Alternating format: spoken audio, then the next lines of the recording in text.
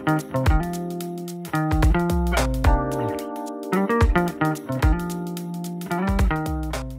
will start the this second part with a keynote speech given by Matteo Carbone, founder and director of the IoT Insurance Observatory from Italy.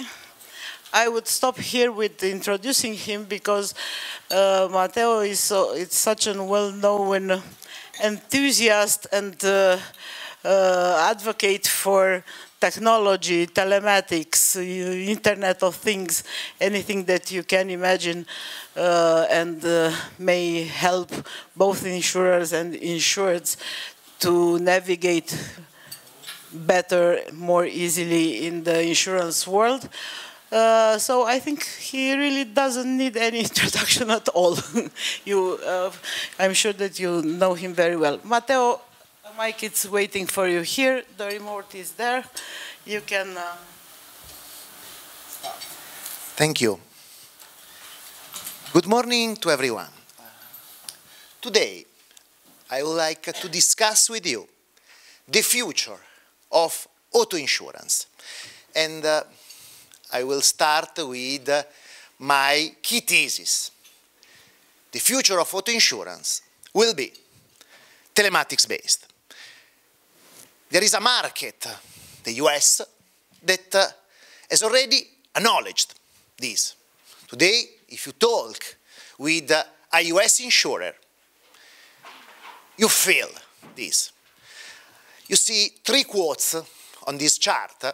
One from the CEO of Allstate that is uh, saying that telematics is necessary to compete. One from uh, one of the investors in Geico that is saying uh, we missed an opportunity. We missed the wave.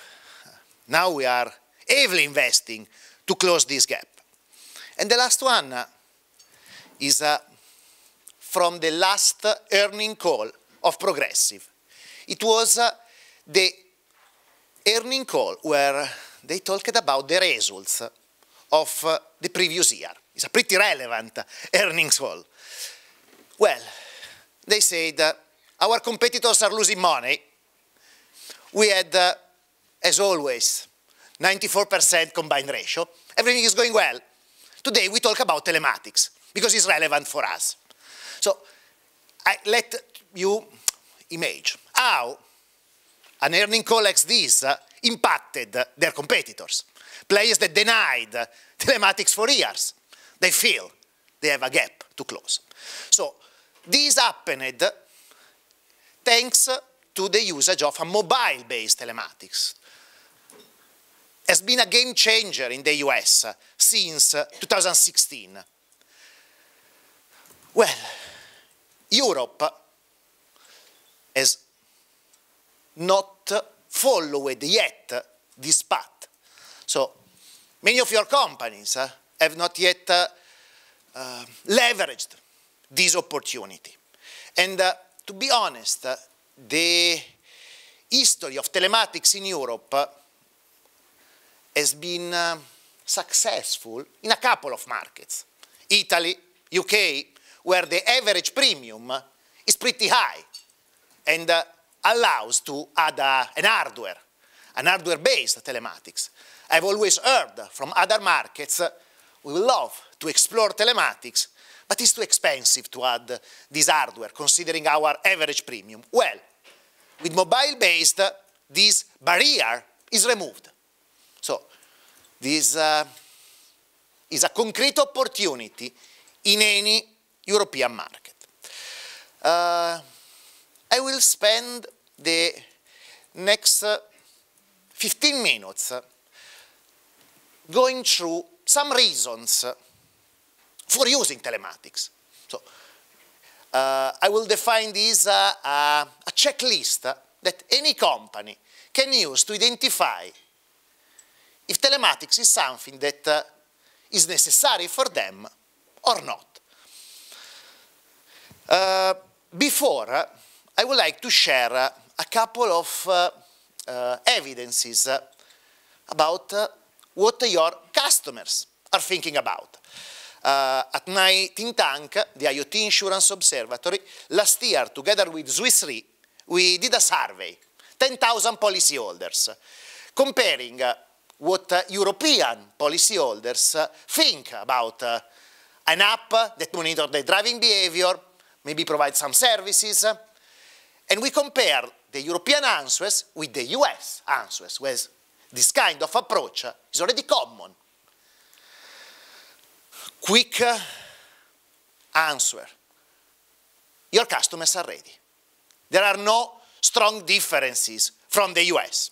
Clearly, you can see some markets where the level of resistance, as Germany, is higher, compared with uh, Portugal or, or Italy, where almost no resistance. But you have at least uh, 45% of policyholders that can be considered a promoter of this kind of solution in any European market.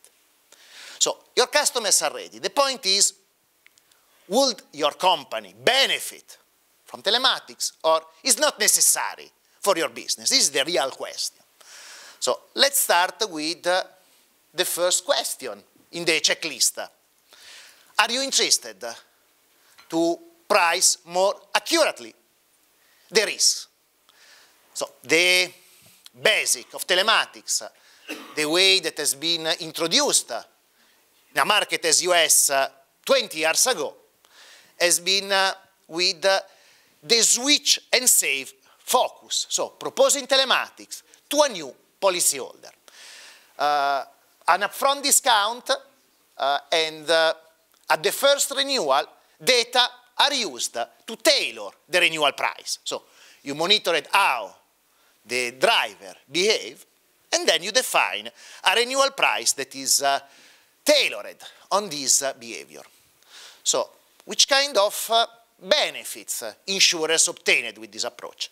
First of all, self-selection. Who accepted to be monitored ceteris paribus is less risky. That means that on the telematics portfolio, you have a lower incidence at each pricing level of the worst risks. But the pricing sophistication at the renewal allow to discount the good drivers, so to retain them more, and to surcharge the bad one at each pricing level. So closing the premium leakage that uh, structurally you have in each pricing cluster. Um,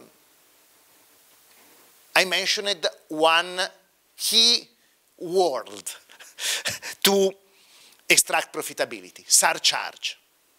So this is something that uh, many insurers around the world missed. So they applied the telematics only to provide discount to good drivers. Clearly, this is not contributing to a better profitability. So here you see the evolution of the progressive approach on pricing. Currently, they are surcharging uh, up to 60% uh, the worst risks uh, or providing a relevant discount to the good ones. So this is the way, over the years, they have extracted more and more value. The point is uh, how policyholders uh, react if they are surcharged. Well, Progressive shared that uh, even if they are surcharged, they are showing only 16% more churn compared with the average portfolio. And they are saying, we are fine if someone doesn't accept the pricing that for us is adequate to their risk. But many of these policyholders accept it. Large part of them stay. So this is a huge contribution to the profitability of the portfolio. In the survey I mentioned uh, before, we asked to policyholders uh, uh, what they um, prefer as pricing method. Uh, three evidences uh, we obtained. First of all, there is um, a pretty broad set of preferences. There are uh, different personas that are attracted by different pricing methods. So my belief is that in the future, insurers will have in their portfolio different telematics-based pricing. Uh, second evidence, surcharge in a product that uh, give up the hope to have uh, a discount if you are a good driver is not scaring anyone. 50% of the people that uh, shared a positive opinion about this concept that we proposed, an app that track you, choose a pricing method where was highlighted that the worst case is that they will be surcharged at the renewal if they are not driving well. Uh, there is one third of policyholders that are even open to the dynamic pricing. Probably many of you have uh, seen uh, the pricing of Tesla that in the US uh, they introduced that monthly change the amount that you pay based on how you drove the month before. Well, one third of the policyholder, both on the new generations or in the older generations, are even open to this kind of concept. But let's move to another topic. pricing uh, clearly is uh, an area where telematics can provide a benefit. But uh, if you are looking to grow the number of policies in your portfolio, well, telematics can provide a good lever. This is the story of uh, Discovery in South Africa. They started in 2011 with uh, the first property and casualty product, auto, and it was telematics based. In 2017, they had already 4% of market share. In 2021, they have 7% of market share. In 10 years, they have become the fifth property and casualty insurer in South Africa. They are not providing any discount. They are providing the hope to receive up to 50% of cashback on your monthly gas spending. If you are able to design a value proposition so attractive, I'm pretty confident that in any market you can grow. This is another question that uh, you can uh, pose to your colleagues. Are we adjudicating and paying claims? If the answer is yes, probably telematics can help. So there is on the table, if we look at the best practices, up to a benefit up to 10 points on your loss ratio. There are best practices uh, that I've seen directly, members of uh, my think tank, insurers that have used well telematics over the past years, that have been able to increase the speed of their claim process. Insurers that have been able to have the first notification of loss for 75% of their claims within one hour. And you know how relevant is to start quickly to address the claim.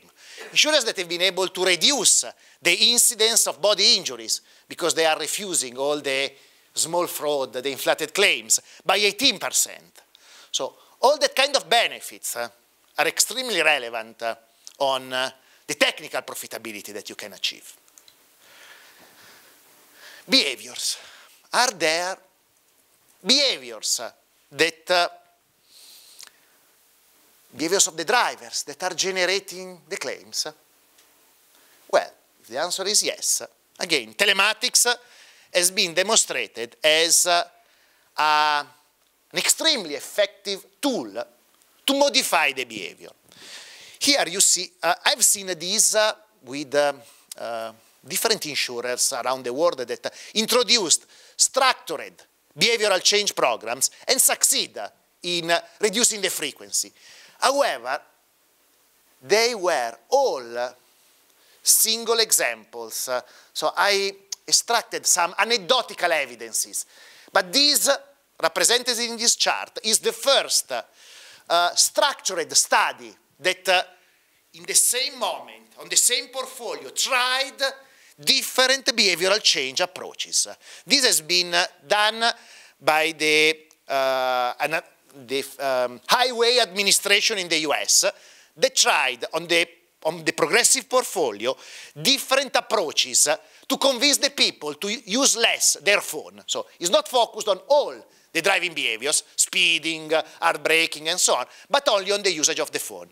Key evidence frequent and tangible rewards is the way that uh, influence the most and reduced almost by 90% the usage of the phone. Today there are uh, a pretty relevant number of insurers around the world that introduced, uh, some even in Europe, that introduced uh, behavioral changes approaches uh, in their portfolio using telematics data. What I'm asking to all the other insurers is, what are you waiting for? Change the behavior of your drivers, reducing the claim frequency in your portfolio. Retention. In some markets, retention is relevant. In others, insurers have a pretty high level of retention is less a priority. If retention is a priority in your company, well, there are pretty robust evidences that the telematics portfolio has a, a higher retention than the traditional portfolios. Here you see year by year the difference between the telematics portfolios and the non-telematics portfolios uh, in Italy, where currently there are uh, around uh, 25% of the personal auto policies that are linked with a black box provided by an insurer. So we are talking about a, a, a statistically relevant sample to study the difference of retention between the telematics portfolio represented in blue and the non-telematics portfolio represented in red. Let's uh, address uh, the most relevant question in my perspective, because everything uh, I showed before was focused on a new business. So the concept of switch and save that has been the core of the telematics approaches for the past 20 years. That honestly is relevant, is uh, good, but it takes time to impact your P&L. So, the point is, uh, is relevant in your company to quickly improve the profitability of your current portfolio? The answer is yes. Uh, and uh, in many markets, the level of churn is uh, showing that addressing the current portfolio is something that is fundamental to obtain the telematics benefit. Because if you wait that some customers switch in France, in Germany, it takes years. You, have, uh, you see represented here uh, in the survey we, we did uh, the answers to the question, how long have you been with the current insurer? You see, more than two years represent a large part, even uh, almost all the portfolios in some markets. UK uh, is uh, an outlier where the churn rate is for 30, 40% each year. So in these markets, to address the current portfolio, to obtain an impact, is a must. Uh, how you can use telematics to impact the current portfolio? You can add a telematics SDK inside the app of all your policyholders. A few insurers around the world have already done it. Fidelidade in Portugal, Generali in Germany and Austria, in the earning call last month, Progressive said, since March 2022, all our policyholders will have the telematics SDK inside the app, active, monitoring them and helping us to manage better the claims and to provide them services. This is a game changer because you have not to wait that someone buy the new product that this product, this portfolio become 3, 5, 10% of your existing portfolio to have some impacts on the profitability.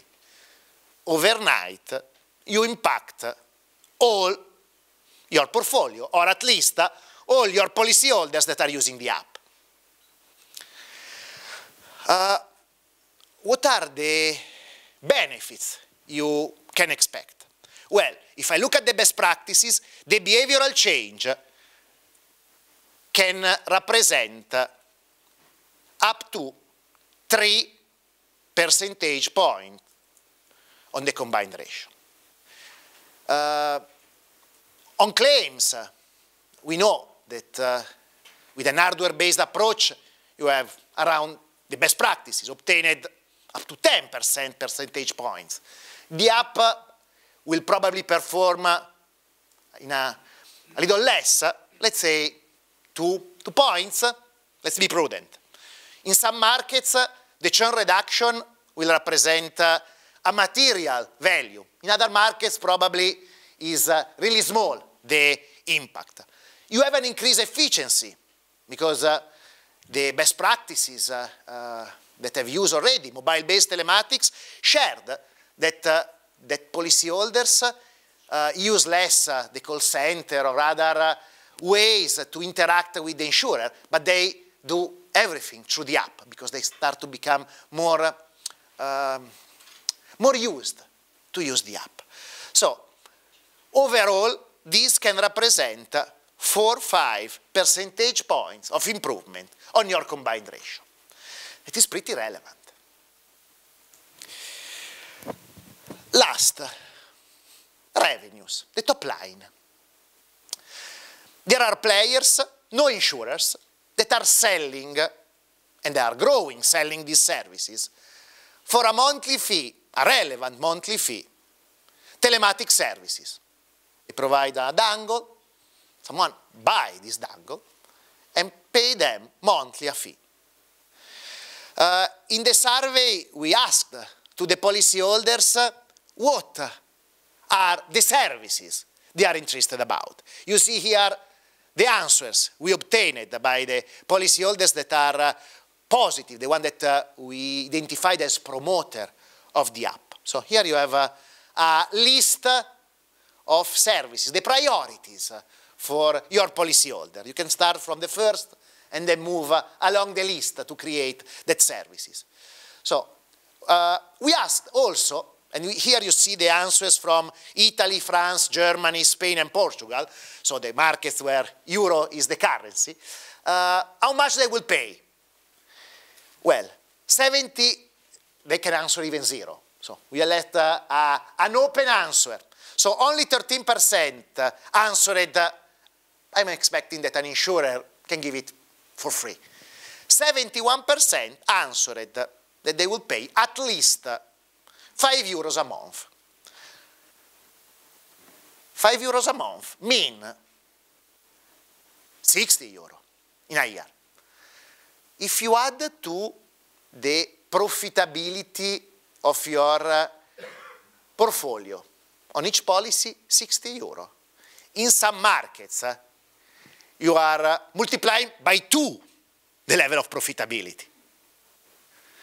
So let's say that uh, you are uh, convincing 50% of the policyholders to buy these services.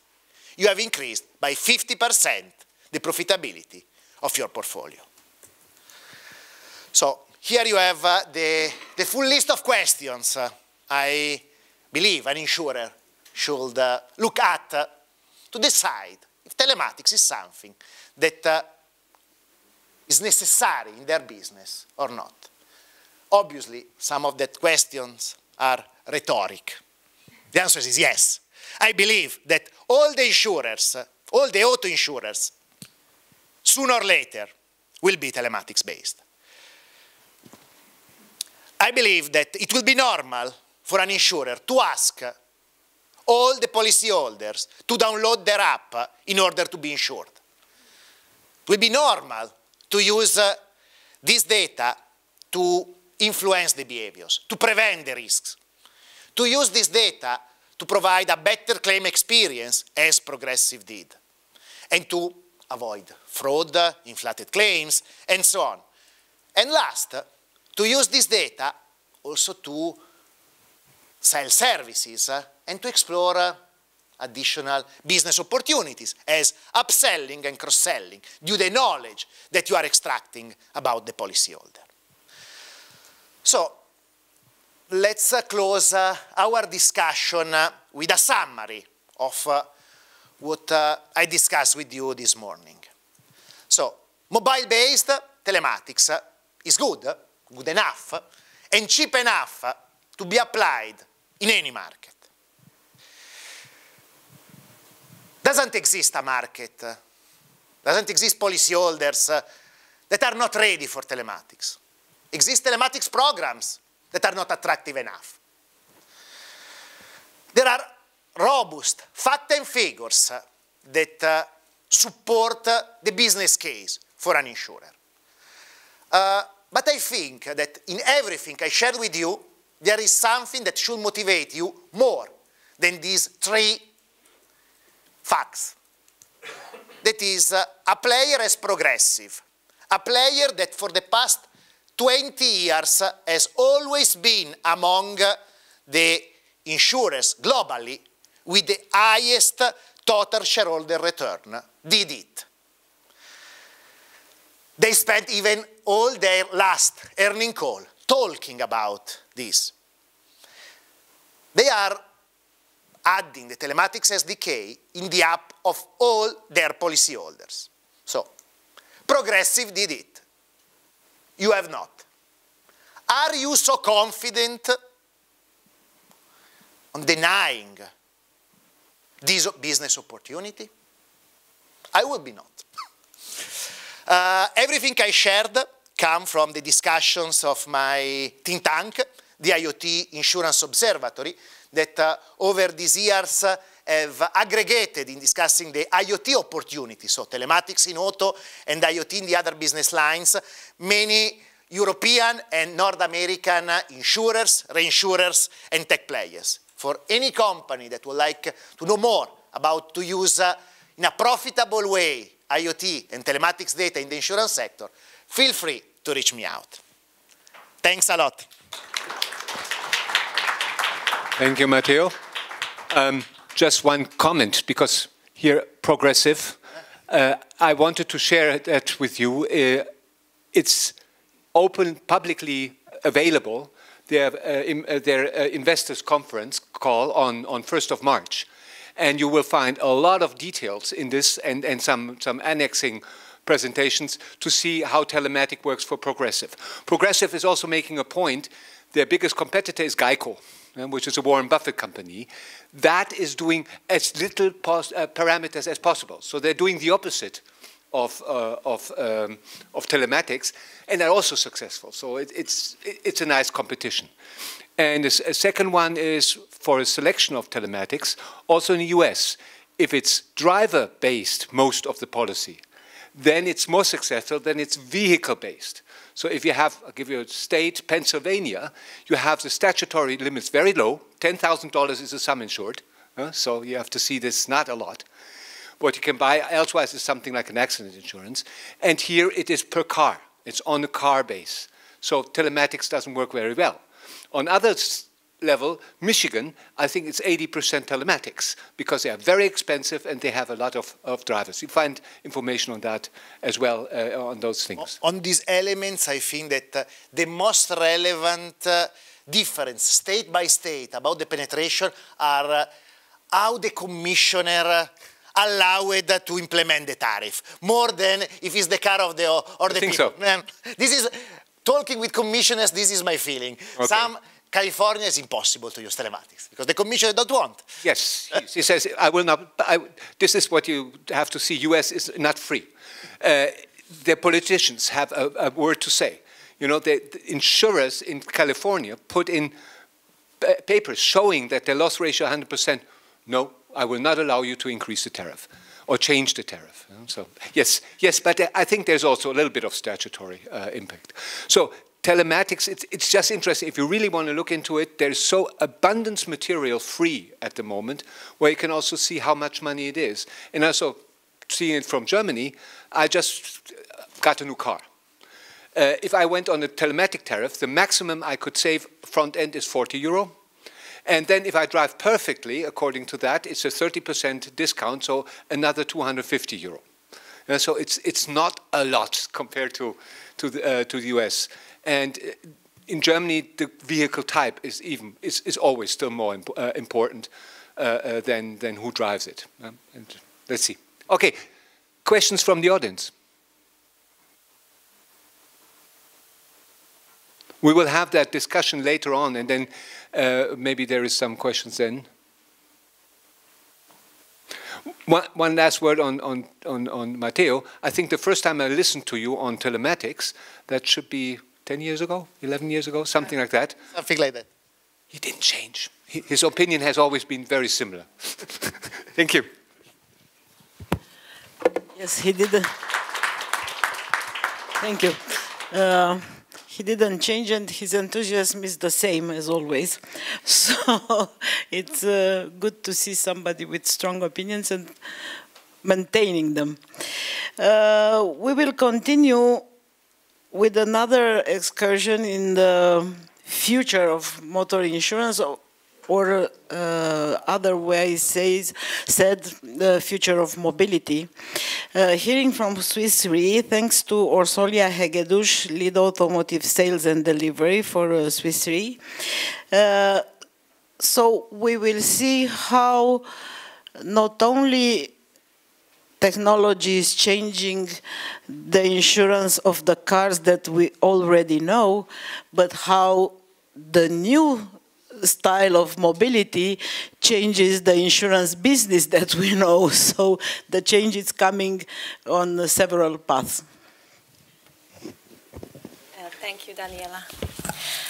Um, my name is Orsi Hegedus. Again, I've been working for Swiss Re for the past 12 years.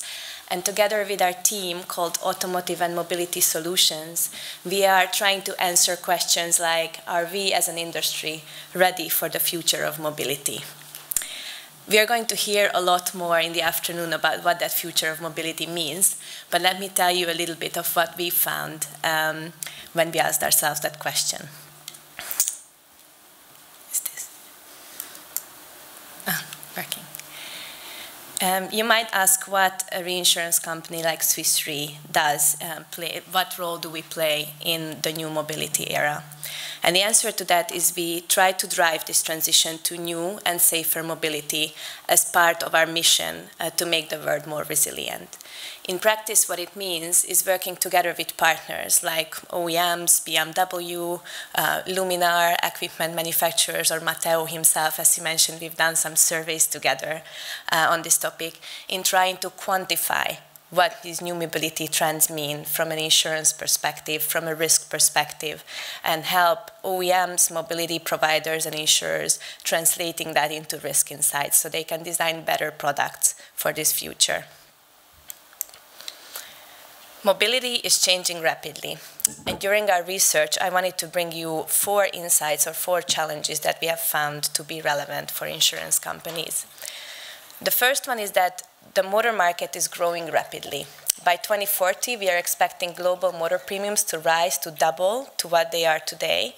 However, it doesn't come without challenges. So this rise of premiums is actually smaller than for some other risk pools. So we see that the mobility risk pool is going to be smaller compared to some others in the future. Um, and this growth is also coming mostly from emerging markets and shifting from personal lines to more commercial lines, which is posing a challenge to insurers. Mobility is also getting more complex. If you think about urbanization, decarbonization, change of demographics, this is make, uh, putting a lot of pressure on existing mobility infrastructures. There's also there's also an abundance of new data sources. So there's new data, Matteo mentioned one, which is telematics, but there's also connected vehicles and a lot of information coming about the cars, um, digital twins of, of infrastructure, etc. So all of this information that is becoming increasingly relevant for insurers to understand when analyzing the risk of mobility. And then last but not least, we have overarching mobility trends, which tend to be more technological. So the future of mobility, in our view, is going to be connected, autonomous, shared, and electric. And some of these changes are already on the roads today. So in the path towards full automation and full electrification of vehicles, we are already on the road. We have cars with lane keeping assist and emergency brake systems on the road. And we as insurers don't know exactly how those are affecting the risk on a vehicle by vehicle basis, although it's becoming very important. So we at Swiss Re believe that it's a decisive moment for insurers to stay relevant in the motor business and they need to understand uh, what this means actually in practice. So I wanted to ask the question, what does ready mean for insurers? And we're going to listen to lots of presentations about different aspects of that in the afternoon. You can talk about digitalization, customer engagement, retention, etc. But I would like to provide you a view on what it actually means in the understanding of risks and being able to price those risks. So it's going to be that, um, that angle that I'm going to um, explore. And what we believe it means that insurers need to elevate their existing rating models and be able to have a holistic view of motor risk, which involves the driver, location of the driving, and the vehicle. Matteo already talked about telematics and how that can help us having a better view of the driver itself, of the driving behavior, and how that affects the risk, and how insurers can use this as a tool to elevate their models. Location of the driving also matters. So the geographical environment of a car, looking at road density or weather, and the interaction between the driver and how they adapt their driving behavior to, to, the, to a certain location matters as well. And then last but not least, the vehicles itself, it, themselves. They are becoming, as I said, more connected, autonomous, shared, and electric, and this does change the risk landscape.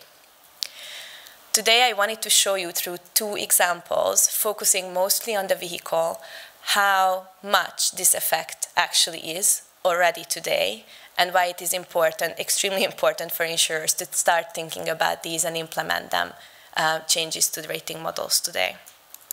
So I'm going to talk about autonomous and electric driving in a bit more detail. The first example, autonomous, autonomous driving, we're not talking about fully autonomous vehicles, but already today one third of all cars are sold with some kind of advanced driver assistance systems. So think about parking assist, um, emergency braking, lane keeping assists, um, or, or speed control, adaptive cruise control. These are all ADAS features that are in vehicles. By 2030, we are expecting that half of the car park will have some kind of ADAS feature.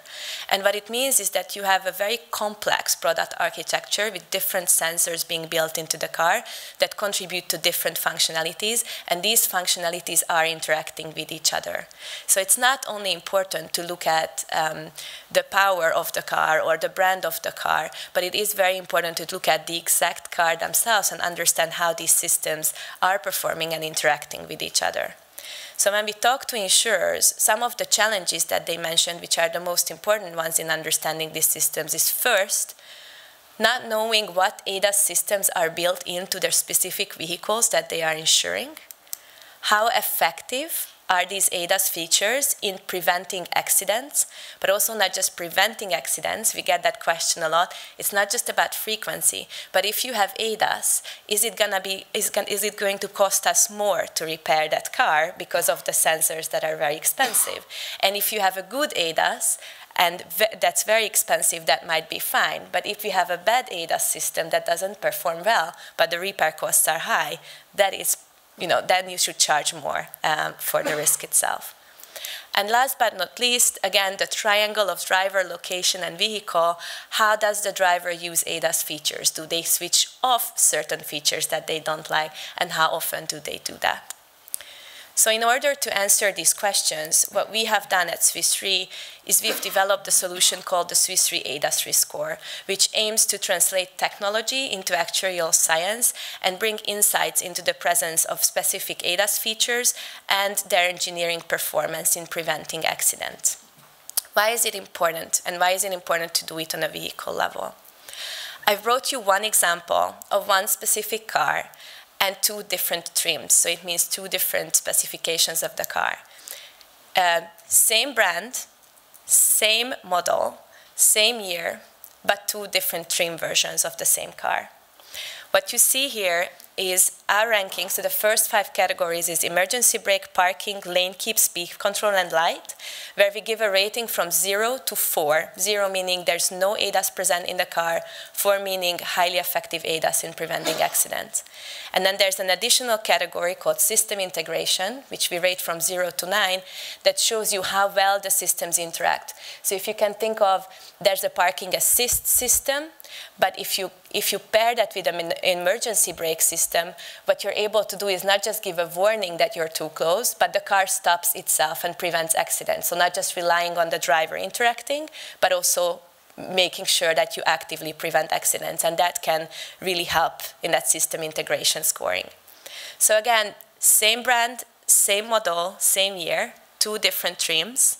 And the difference between the performance is very clear, right? There's a 20-25% difference in the performance of being able to prevent an accident. That is, that is real impact. If you look at not just frequency, but look at the overall picture, what you can see here is anonymized examples of um, portfolio analysis that we've done for some of the clients, both for MTPL, so liability, as well as casco or motor-owned damage risks.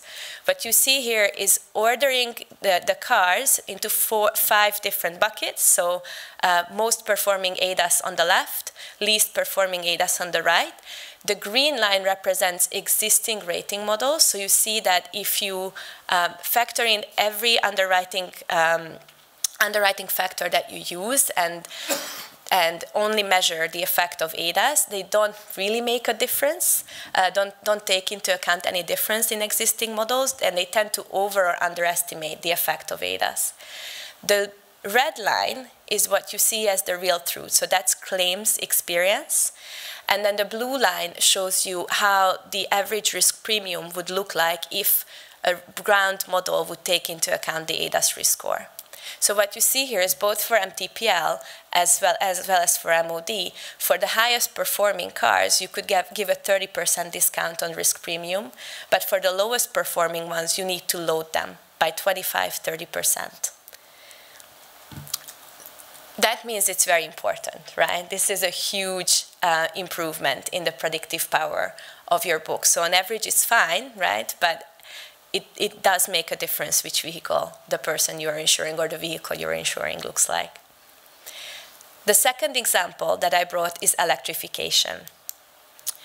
So electrification is reflected in the product roadmap of most car manufacturers. What you see here is the pledges that some of these brands has made to go either fully electric, be it battery electric vehicle or hybrid or full battery electric, or just making pledges um, and commitments to invest time and money into electrification.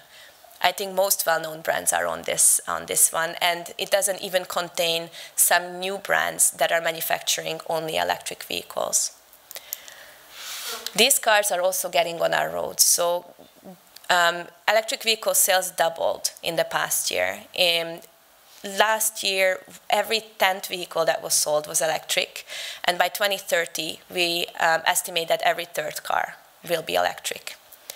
The biggest driver is China. So their electrification is really very much on the rise, but we also see it happening in Europe.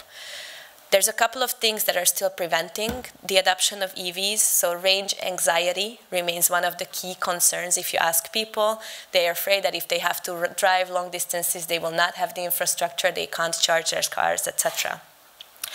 And there are differences across markets also in our region.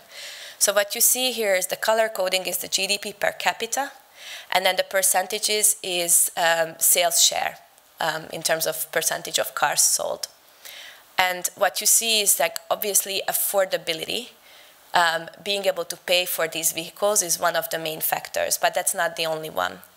Governmental incentives change a picture a lot. So if you compare, for example, Norway to Switzerland, where GDP per capita is similar, in Norway, 85, 86% of cars are, cars are sold are, are, electric. In Switzerland, it's only 22%. But you can also compare uh, markets like Portugal, where GDP per capita is very low, 20% adoption rate, with Eastern Europe, where it tends to be a lot lower with similar GDPs per capita. Demo driver demographics also change, so whether it's for corporate use or private use, availability of different models, if you think of the US, Teslas are high-end cars. In Europe, we see a lot of like smaller micro cars that are, are electric. Um, and also the, there's also the, the topic of market readiness. Do we have the infrastructure? Do we have a repair network? Do we have a charging network? Um, the the European recommendation for charging stations is have one charging station for every 10 or less than every 10 electric vehicle and every 60 kilometers have a fast charging station. We're definitely not there yet, right? Most of the charging, about 95% of charging happens still at home overnight. But it is still happening, right? So we will definitely see a bigger mix, a larger share um, of electric vehicles in motor portfolios. The question is, does electrification means there's a difference in the risk profile? And you probably guessed that my answer is going to be yes, there is a difference, and that uh, the risk of electric vehicles is not captured adequately by internal combust combustion engine vehicles risk models, like models that are based on um, cars that are not electric. The differences come from the fact that there's a difference in makes and models, so there's a quickly evolving landscape, new cars coming out all the time. The performance parameters that are important are different. So we can think about abrupt acceleration, silence, or the fire risk of the battery. That's very different from, um, from the fire risk of an ICE vehicle. The annual mileage tends to be lower, and then the repair costs are different. There's a re different repair network that, that needs to deal with um, high voltage systems. There tend to be more embedded software, etc. So risk assessment sailor to ICE does not adequately re reflect the EV risk landscape. And again, I brought you an example of quantifying that. We've built the EV risk score. We are very creative, so ADAS risk score, EV risk score, in choosing the names of our products, uh, which is providing adjustment factors relative to ICE vehicles when it comes to um, risk premiums. So the chart you see here is taking into account MOD, so casco, and liability coverages. And if you have a car that is above the one line, it's an EV car that's above the one line, it means there needs to be a surcharge on top of existing rating models. And if it's below the line of, uh, of one, it means that this vehicle represents less risk compared with all the other things the same. So we're comparing same driver, uh, same um, kind of an ICE equivalent of an EV. So for brands where you have um, the, the, car, the same car model driving electric and, and, and ICE, then we use those comparisons. For car brands where there's not uh, not an ICE uh, equivalent, we are using an, a similar ICE vehicle to compare. And what you see here is, for example, if you look at the red bubble on the top right corner, that represents a car brand that produces different vehicles, so different models, and those models are all within that bubble. And it shows that for that specific brand, for example, there should be a 30% increase applied on top of existing models for MOD and around 20% for MTPL risk because they tend to be uh, riskier. But there's also the other end, right? So you have manufacturers that manufacture EVs that are safer um, than ICE vehicles. These differences show you that the current model of applying a blank discount or a blank um, uh, loading on top of existing risk models is not good enough. We need to be able to move towards this state where we can analyze the, the, the risk of electrification separately. So just through these two, two examples, I'm, i have shown you that there's a 20-30% uh, improvement in the predictive power of risk models. And I wanted to leave you with a bit of an outlook of how such a holistic risk model can look like in the future. So we believe that the future of motor insurance scoring is going to be dynamic, modular, and vehicle-centric. So what do, I, what do we mean by that? I've shown you that triangle of driver, location, vehicle, but there's a time element to it as well. If we link um, to increasing vehicle connectivity and add a time element. In this example, being able to monitor when certain ADAS systems are switched on and off, we can have a profiling through time of of uh, driving risk, of severity and frequency.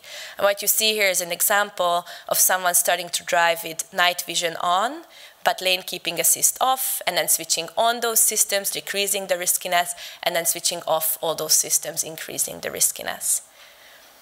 So this is the risk profile we believe that moving towards this dynamic and, um, and holistic view of motor risks helps insurers to better assess risk, helps to, to boost the predictive power and therefore profitability, be able to develop adequate um, pricing to customers, bring them value and fairness, and help them move towards um, a safer mobility in the future. So thank you very much for your attention. I'm not sure if there's any questions. Well, maybe first audience questions? None? Um, because one thing I want to also say, read it. Uh, it's a sigma, what you were mm. referring to. How will the insurance market look in 2040? And compared to many other publications, oh, the market will grow like crazy or the market will shrink like crazy, it's, it's let's say, you need to do your job, but there is still a market. and I think it's, it's, it's very transparent from the parameters. I like the, the Sigma studies for those future things very much. They're very, let's say, helpful. And if you take an old one, they're pretty, pretty, pretty good in their prediction. So uh, that's number one. Number two, with the others, what you are, have done, some eight years ago, uh, in the Allianz Zentrum für Technik, they did a study on the different helpers. Uh, yes, they were on a lower stage of development, but the basic function was already there.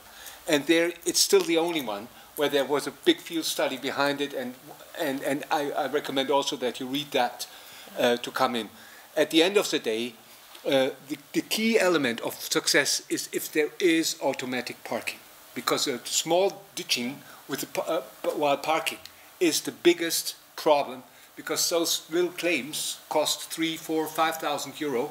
Uh, in the past, it was 500 euro. Now it's 5,000 euro, and uh, that makes it really, really most important that the parking is done by a machine. That would do it a lot. No questions. If not, then I encourage you to read the Sigma, very good publications. Uh, but I also put down up the QR code, if you can bring back the slide for a second, to download our latest publication on uh, Driver Today, Passenger Next, uh, which is taking into account all the different elements that I didn't have time to talk about today in, in risk assessment. Thank you very much for your attention.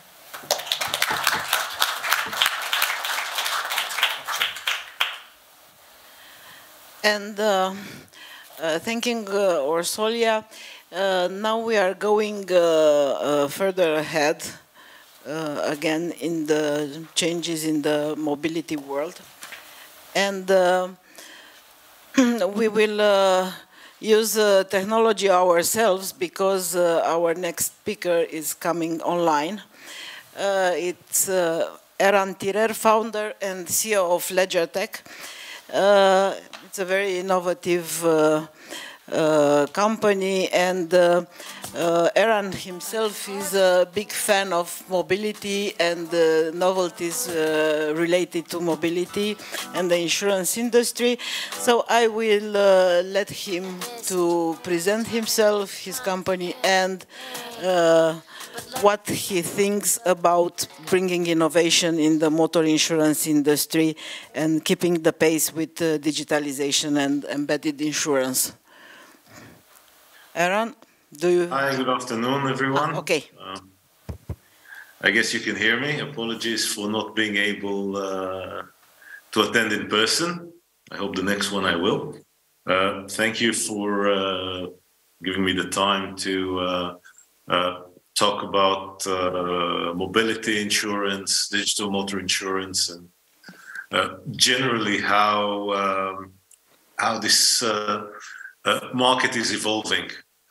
Um, LedgerTech is uh, the low-code, no-code uh, insurtech platform for embedded insurance, which is the company I've founded. I'm going to talk a little bit about how we uh, uh, help our customers to uh, actually adopt their insurance products into into mobility and generally what's what's happening in, in this market.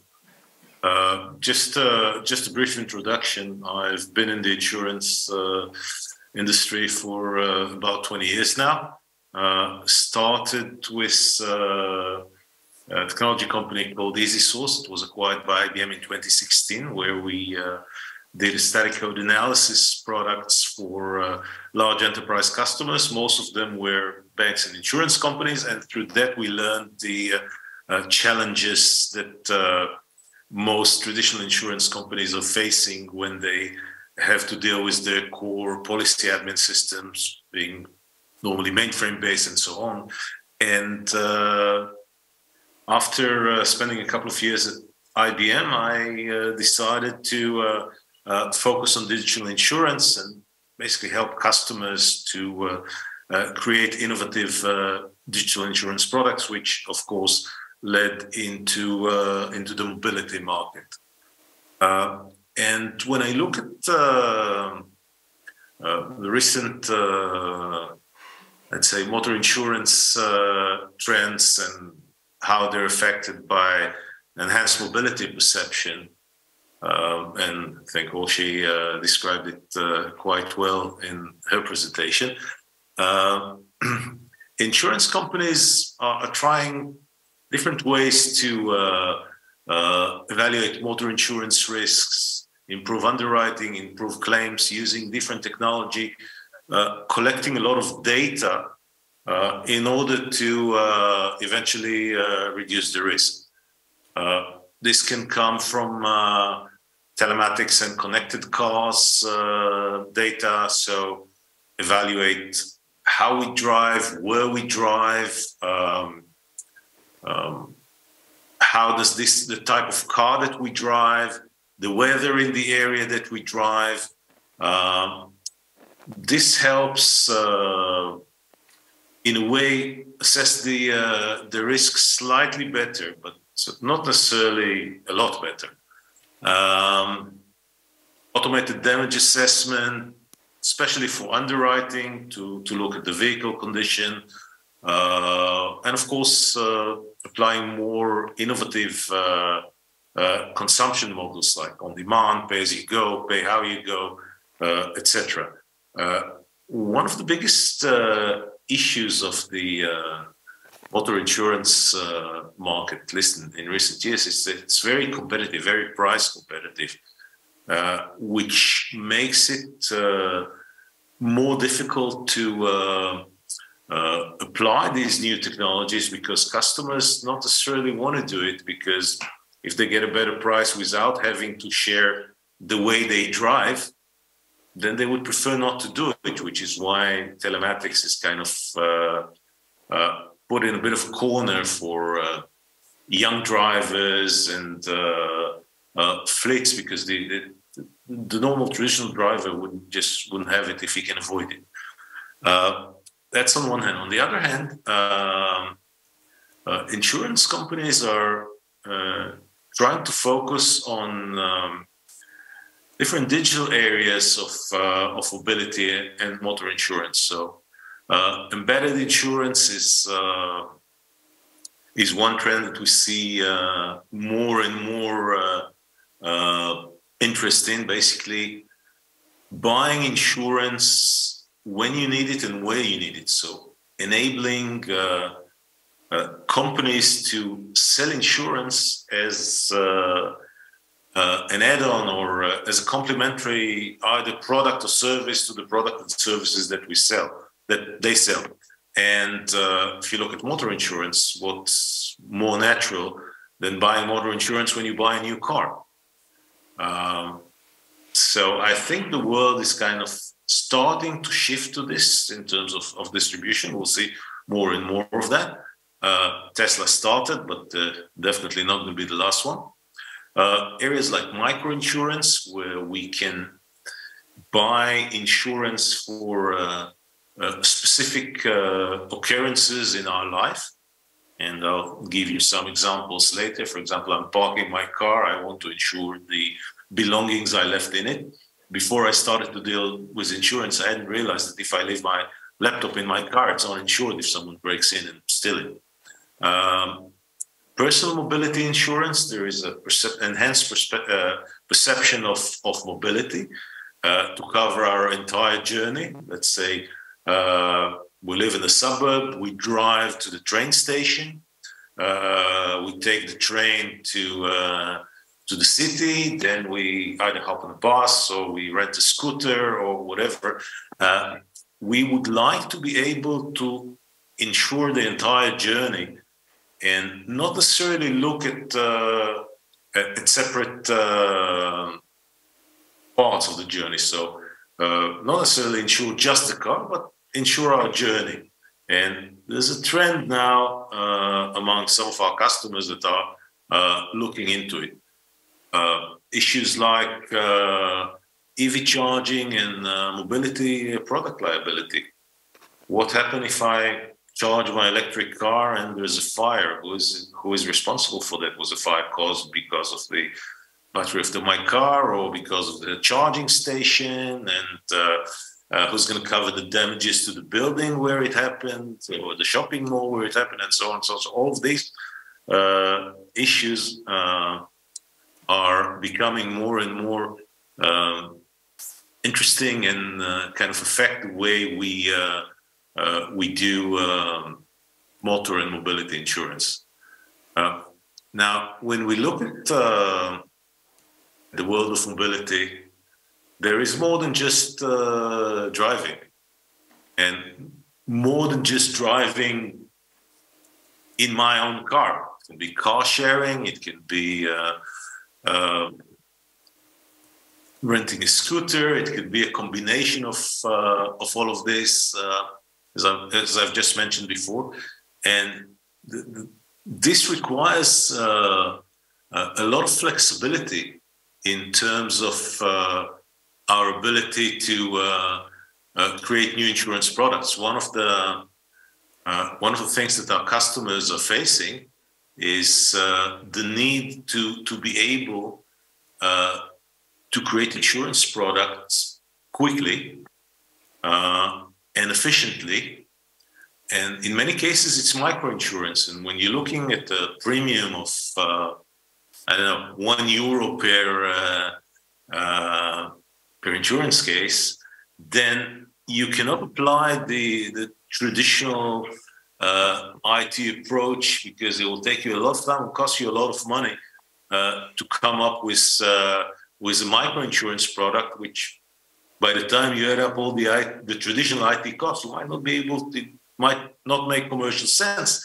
But your customers still need it, so there's there's need to be a different way, a different approach uh, uh, to uh, to contain the situation. Um, and if we look, if we're looking at uh, the the way the insurance uh, the insurance world is uh, is going, so we see uh, uh, a lot of interest and a lot of action happening in uh, happening in product automation, in distribution, and uh, embedded insurance is one distribution channel. Uh, there are of course direct sales. There are insurance brokers and agents, and so on. Uh, in terms of consumption models, there is traditional annual policy versus usage based versus on demand.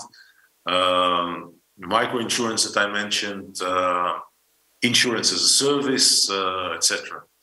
And, and if we're looking at, uh, and this uh, you, you mentioned 2040, this this one talks about 2030, which actually is not, it's like seven years uh, around the corner. It's not that far. So distribution will definitely be, be changed. Um, we see it uh, more and more. You know, when I bought my first car insurance. I went to the insurance broker that my father used to uh, uh, insure his car with, and even argue about the price. Uh, but my son, for example, is uh, is doing everything online. He doesn't. He's not interested in speaking to a person. Uh, so distribution will change. We would like to have the insurance when we want it and uh, where we need it. Um, insurance as a service. So, um, not necessarily having a relationship with a traditional insurance company. Um, underwriting uh, will become more and more uh, automated. Uh, and uh, we, we see that the combination of uh, uh, data and, and technology can help us get there simplifying uh, claims, even if it's uh, starting with automated or digital first certification of loss, sometimes if you're using telematics and uh, you crash your car, the, uh, the telematics platform can initiate uh, uh, the first notification of loss. And of course, how, how will reinsurance look at all of this and how will they um, integrate all the data into the risk model? And I think that uh, what we've heard just now from Swiss Re is, is a good example of uh, how uh, how the direction that uh, the world is going. Now, presenting the problem is one thing, but let's try and look at, uh, at a possible solution. Um, if we look at uh, at the way traditional insurance companies are are working today, they're running uh, 30 40 years old uh, uh, policy admin system, primarily built on mainframe, some on iSeries, mainly in COBOL or uh, uh, AWS Natural or uh, RPG, um, which means that it would take them nine to 18 months to come up with a new insurance product. I'm talking about traditional insurance product. I'm not talking about uh, something like uh, unique uh, or advanced in terms of consumption models with some digital processes associated. I'm talking about the traditional one. So that's a problem. It's too slow and too expensive.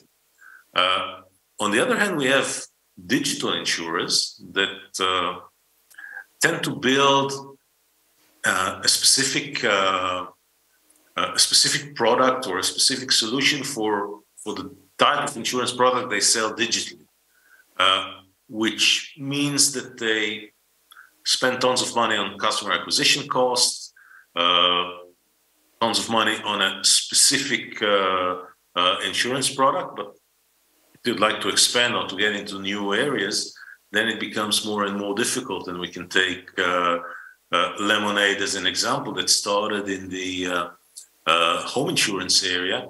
And when they wanted to uh, enter uh, motor insurance, they spent half a billion dollars acquiring Metromile. It was very good for Metromile, but not so sure how good it was for Lemonade.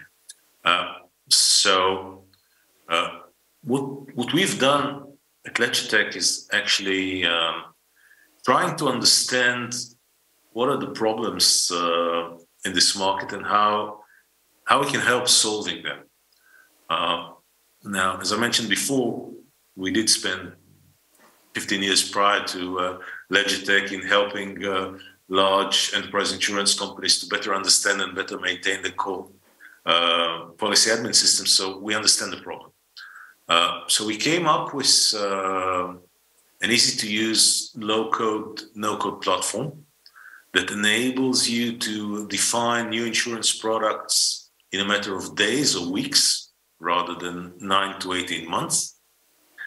Uh, we focus a lot on embedded insurance uh, and MG as a service, which means we're not actively trying to sell our solution to traditional insurance companies, although we have customers who are traditional insurance companies. Um, the, the consumption models are configurable. So pay as you go, pay how you go, usage based, peer to peer, etc. Uh, and we've created an ecosystem of uh, technology and uh, uh data providers on one hand uh, to enhance our uh, core product capabilities and capacity and fronting providers on the other hand to combine technology and business. And um, motor insurance is, is a great example because one of the things we did was uh, uh, an integration with a telematic solution provider. We provide a platform. Uh, we do not uh, intend to uh, understand well enough and be professional well enough uh, in the telematic space, but there are several players in this market who are. And what we did, we chose one of them, and we're probably going to do it with uh, a couple of more, and we integrate them into the LedgerTech platform. So whoever wants to create uh, a motor insurance product that includes uh, uh, telematics, it's already embedded in the platform. including all the business aspects of that. So you don't have to worry about integrating a new platform or a new component uh, into your core policy admin system because it's already on the LedgerTech platform. Uh, and uh, when we look at the um, uh, insurtech market as a whole, uh, we see a lot of uh, insurtech companies who are innovating uh, a subset, like a specific insurance product or a subset of an insurance product. And we, we call them like feature companies because they do something very nice, very well, but it's a feature in a product or a sub-product of, of an insurance line. And telematics can be a good example for how you uh, uh, improve a motor insurance product. We have uh, uh technologies that were embedded into the LedgerTech platform, like vulnerability and threat assessment for uh, cyber insurance, or even simple things like uh, Google Maps for parametric crop insurance or passport scanning for travel insurance, and so on and so on. And of course, as we work uh, uh, Uh, together with our customers, if there is a demand to uh, uh bring a new product uh, or a new uh, uh, technology component uh, into the platform, we will do it. And the same goes for for data sources.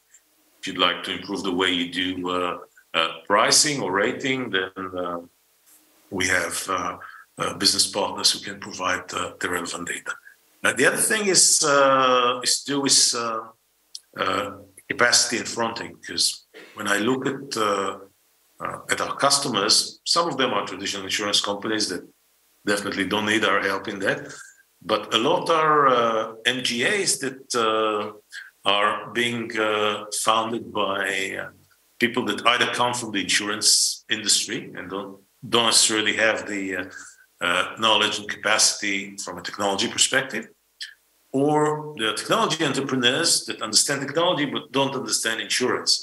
If you remember the uh, uh, first slide I saw about the, I showed about uh, uh the management team of LedgerTech, we do have a senior executive from the insurance industry on our executive team, so that we combine our understanding of technology and our understanding of the uh, of the insurance business. So we work together with uh, uh, insurance companies to provide fronting, with reinsurers and reinsurance brokers, guys like Aon, Howden, Apollo Underwriting, and so on, to provide the right capacity for whatever type of insurance product someone might be interested to create on the LedgerTech platform. So we can either do everything or just provide technology platform uh, and our customers uh, manage uh, on their own with the uh, uh, capacity and fronting.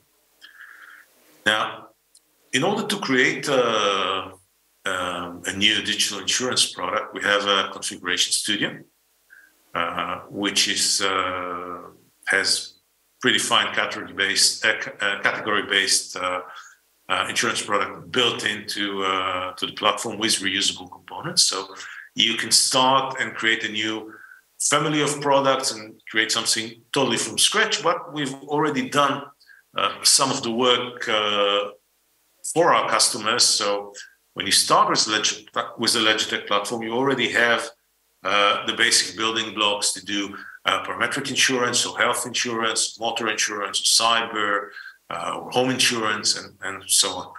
Uh, so that would be the product category. Then you would define the uh, product itself. So what kind of uh, insurance product?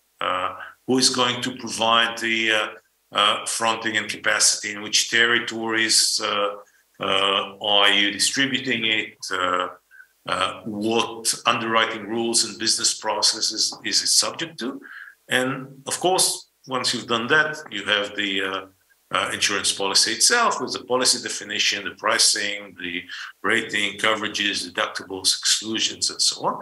And, and this process itself can take uh, uh few days to uh, to create uh, the right insurance product. Once you've done that, we have an integrated business process engine that allows you to um, uh, create the necessary business processes, which are part of the insurance product. Two major ones, of course, are underwriting claims. And there you can start uh, uh, including uh, different products. For example, uh, some customers uh,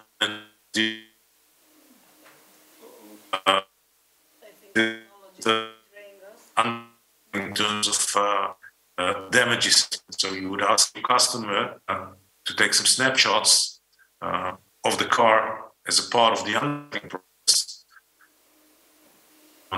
can you hear me or we the, internet connection? Yes, we can hear you, but uh, you had a few moments of uh, weak Wi-Fi, probably. Ah, okay.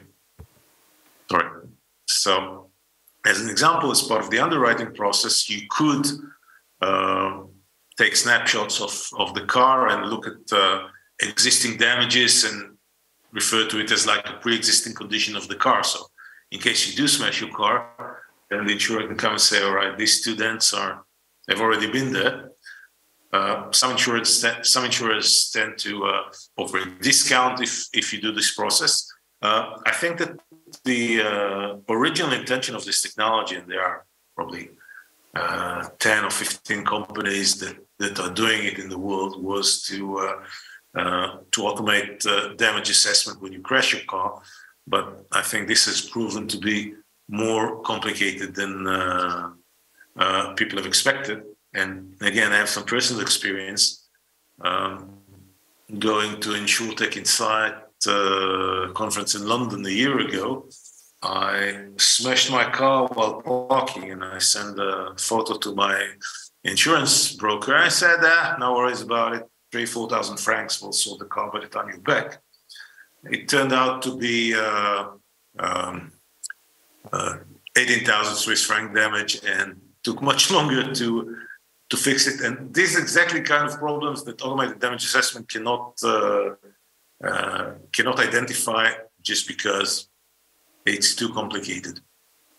Uh, once we've created the uh, once we've defined the product and created the uh, the business process, we automatically generate user interface which is white label and native, so native Android, native iOS, and web. Um, so whether an insurance company would like to include it in their app or uh, it's an embedded insurance solution, it's totally branded by uh, the customer's uh, details, and uh, there's no mention of LedgerTech there. And what I'd like to uh, next is walk you through uh, a few use cases. One of them is motor insurance. I'll talk, I'll talk briefly about uh, the ones that are not just. I assume that uh, some of you have uh, a wider interest than just uh, motor insurance, uh, but they all talk about embedded insurance and um, how distribution can be enhanced, etc. Uh, so the first one is actually uh, embedded travel insurance. One of our customers is a seller provider who uh, um, selling roaming packages, and they realized that uh, when they sell a roaming package, it means that someone is going to travel abroad, and he will probably need uh, um, a travel insurance. So uh, we've created together with them um, unique travel insurance product, which is uh, basically pay as you go. So you do the underwriting once, and then you have insurance eligibility for a year. And as soon as you travel with your mobile phone, uh, we know where we are, and based on the coverages that you've selected, uh, you're covered. And then when you come back to your home country, uh, as part of your next mobile phone bill, uh, you'll get uh, um, the travel insurance uh, bill as well. So you pay only for the days that you've been abroad, and you don't have to to worry about uh, uh, doing a per trip travel insurance like people do. And that can be that approach can be used for for mobility as well. Uh, based on the on the type of uh, devices that you're using, if you are using uh, um, public transport or not, and we we do have a customer that is actually a mobility provider it's not part of the use cases here, but uh, basically based on the data that we collect from uh, this mobility provider, we can offer uh, different types of uh, uh, of uh, micro insurance. So the, the, example I gave around insuring your car when when you're parking comes from there. So as part of the payment for the parking, you can add a small supplement supplement and then your uh, your belongings in the car uh, are insured, and that depends on the type of car, where the driver is uh, based, uh, where the car is parked, uh, patterns that uh, that we analyze in terms of, of the car usage, where in which areas the driver normally drives, where he tends to park the car, what the risk of someone breaking into the car while the car is there, are the cameras in the area, etc., etc. Uh, and based on that, we build a risk, a risk profile, and we uh, either offer or don't offer uh, this uh, supplemental microinsurance for parking. Uh, the same goes for uh, for EV charging. We're working now with one of our customers about uh, expanding the uh, EV charging experience and adding uh, insurance for your car while you are while you're charging it. Things like small damages or um, damage to the charging station, etc. Uh, the other one is uh, parametric crop insurance, very similar to uh, um, financial instrument, which is called uh, BRC, uh, where farmers insure their uh, crop uh, based on uh, certain weather conditions. You know, if the humidity goes above a certain level or um, the soil moisture go below a certain level, etc., etc., you hit the barrier, you get the compensation, assuming you had a damage. this can be applied in motor insurance, for example, in uh, for uh, let's say hailstorms. So there are there are areas uh, in the world, in Europe, actually, even in Switzerland, and there are days where it's better to leave your car in the garage because if you drive it out, you're likely to uh, suffer a damage of uh, three, four thousand Swiss francs and lose the car for two weeks while it's being repaired. Uh, another one is the um, um, embedded motor insurance, uh, which is telematic based. Uh, we're working with uh, uh a car manufacturer to uh, uh, include uh, motor insurance as part of purchasing a new electric vehicle. This is something that will be launched in Latin America in the coming months. And basically, when when a customer is is purchasing a new car, uh, they get uh, free motor insurance for two or three weeks. It's not really free, it's uh, okay, including the purchase price. Uh, but what happened during this period is we, we used telematics in order to uh, uh, evaluate the quality of, of the driving. And this, this is an example how you can actually kind of sneak in the uh, the telematics uh, uh, solution to the drivers without getting too much resistance. Because if you tell the driver if you use telematics, you're going to get a discount, then he's likely to see if he can get the discount without using it. But when you give something for free, most people will take it. And during this time, we build the risk profile uh, of, uh, of the driver based on driving distance, times, locations, weather, uh, usage of brakes, turns, speeds, uh, geolocation, etc. And uh, if the driver is a good driver, of course, we'll give him a, a, a really good offer. And if he's a bad driver, we'll probably politely send him to, to the competition. Uh, so this is just an example uh, of how you could take um, let's say, a telematic uh, solution and turn it around and make it uh, uh, more usable uh, to a customer. Uh, so this is us in a nutshell. I think I have two or three more minutes left.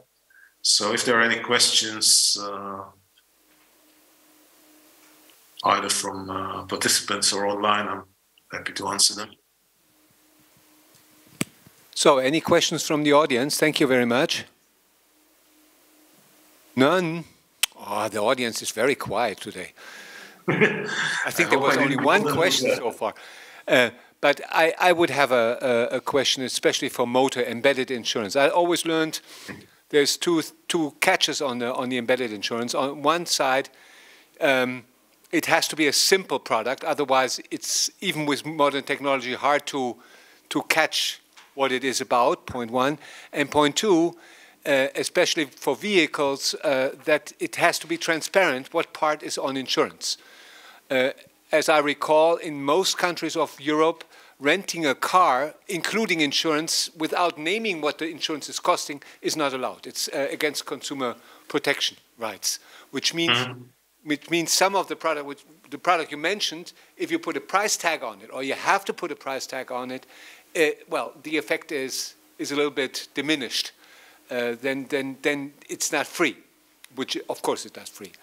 And the second one, uh, second one is uh, for embedded insurance. It needs to be transparent because very often the embedded insurance is too profitable. You may uh, recall the um, UK experience with uh, with insuring your life or, or your job uh, while you have a credit or, uh, or similar things, mm -hmm. or, or, also on extended warranty when the loss ratio is below 30%, that this is not, yeah. not allowed to say. So how, how do you see, or let's say, do you have an example where there's a classical product changed and then really embedded in motor? Uh, well, the only thing we did, well, two things we're doing in, in motor is one, this telematics, which uh, uh, we are doing it in Latin America, where I guess the regulation is uh, more flexible. so let's call uh, it different. Yes. Uh, so we haven't encountered the the need to uh, actually specify how much it costs. And you know what? I'm not sure it can be specified because if you look at the uh, 50,000 euros car, the the price of insurance is for two weeks is negligible. So you can actually claim it's uh, it's free, and it might be. Um, but the other one is the um, is the microinsurance that uh, is associated with uh, with parking your vehicle, and that uh, again we're not under uh, uh, any regulatory obligation to quantify how much it costs, but we do because it's it's like an add-on so uh, let's say you park and you pay, I know, uh, two euros per hour. We offer you to uh, add another 15 cents per hour and insure the, the property in, uh, in your car up to uh, 10,000 euros limit, uh, which, first of all, there's nothing like that today. The only thing I've seen is uh, uh, extended uh, motor insurance. If you park your car at the airport, they offer you to get uh, an additional insurance for uh, uh, scratches and small damages. But if you have like if you have a good motor insurance, anyway, it's included. So I didn't understand the the idea behind it. But what what we are offering was the was micro insurance there I think uh, uh, is is quite unique and quite uh, required. Actually, uh, I I haven't seen it uh, elsewhere.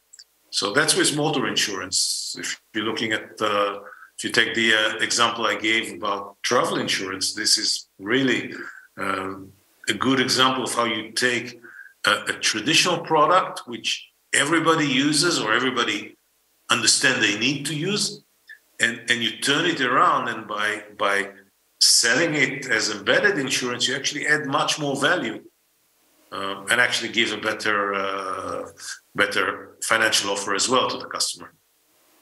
So uh, I think the world is is heading towards uh, uh, embedded insurance and I think that a lot of the products that traditionally people used to buy from insurance brokers or direct from uh, insurance companies will become more and more embedded because it's part of our uh, uh, customer experience or purchasing experience. Um, so I think this is the direction we're heading. Thank you very much, Eran. Uh, I'm happy that we've managed to to connect you to you. participants today. Uh, hopefully next time uh, you will be here in person. For the time being, I'm pleased to announce you that we have one hour to meet in the Bristol Lounge for uh, uh lunch and uh, then uh, at about uh, 2.30 in the afternoon we are expecting you back because we will further talk about novelties in technology but we will also look to the current problems speaking about inflation and the means of uh, dealing with it these days. Bon appétit. you